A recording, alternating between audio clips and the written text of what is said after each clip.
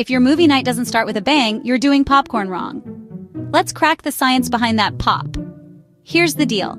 Every popcorn kernel is a tiny pressure cooker. Inside, there's a bit of water trapped in a starchy shell. As you heat it up to 180 degrees Celsius, yep, that's 356 degrees Fahrenheit, something wild happens.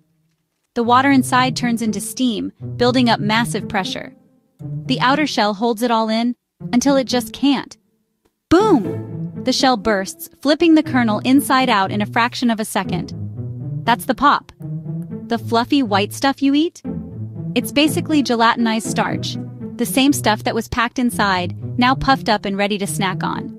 So every time you hear that popcorn pop, you're witnessing food physics in action heat, pressure, and a crispy explosion. Next time you snack, remember, you're eating tiny, edible science experiments. Popcorn turning heat into happiness, one mini explosion at a time.